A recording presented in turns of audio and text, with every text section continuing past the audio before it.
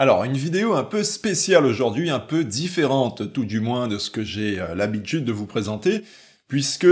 cette vidéo, je l'ai fait pour vous parler non pas de mes tutos euh, de traitement Photoshop et Lightroom, ça vous savez très bien que j'en fais déjà, j'ai beaucoup de tutos euh, dédiés au traitement photo sur mon site,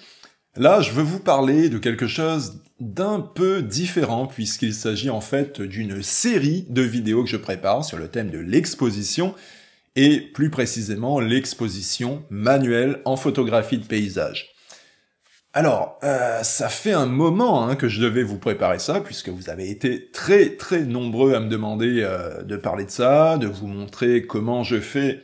pour parfaitement exposer mes photos de paysage. Euh, vous voulez voir en fait concrètement comment je fais sur le terrain selon différentes situations. Pour les photos par exemple de sunset, sunrise avec le soleil dans le cadre, est-ce qu'on expose pareil que pour une photo faite en plein jour? Ça, c'est une question parmi plein d'autres sur l'exposition. L'exposition, c'est un sujet tellement complet et précis que ça peut pas se faire non plus en une seule vidéo. Il faut vraiment prendre le temps de tout bien expliquer pas à pas.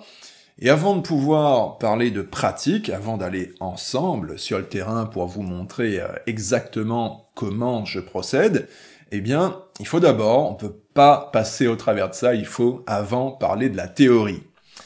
Donc, ce que je vous prépare, c'est une série de vidéos, donc de la théorie d'abord, et plus tard, quand on aura abordé euh, tous les points importants théoriques, euh, eh bien là, on passera à la pratique, et là, je vous montrerai concrètement comment je procède avec les réglages de l'appareil selon différentes situations.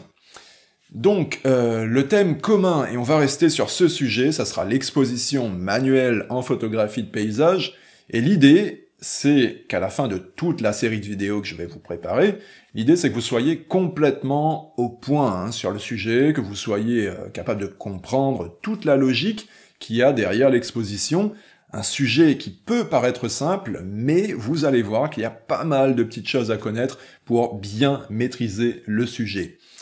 Et la finalité de tout ça, c'est euh, tout simplement de faire en sorte que vous fassiez de meilleures photos de paysage, c'est ça l'idée, euh, puisque vous aurez compris euh, tous les rouages théoriques et pratiques concernant l'exposition, autant les points simples sur le sujet que d'autres points plus précis, un peu plus complexes si on peut dire.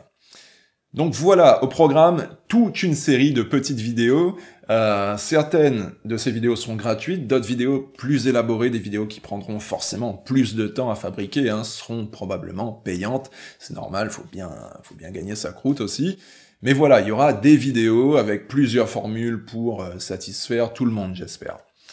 Donc tout ça arrive euh, très bientôt, donc je vous donne euh, rendez-vous sans trop tarder pour le premier épisode déjà de cette série consacrée à l'exposition manuelle en photographie de paysage.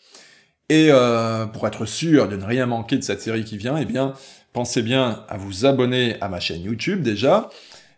autre chose également, si vous aimez cette idée de vidéo où on me voit un peu plus à l'image, eh bien faites-le moi savoir en laissant euh, un like, hein, ça fait toujours plaisir, comme ça je saurai si vous voulez me revoir ou pas. Et si vous avez des idées, s'il y a des points précis que vous souhaitez que j'aborde, eh bien euh, faites-le moi savoir en laissant un petit message dans les commentaires, je lirai tout ça, et euh, j'adapterai éventuellement les futures vidéos en conséquence. Allez, je vous laisse, je vous dis donc à très vite pour la première partie de cette série consacrée à l'exposition manuelle en photographie de paysage.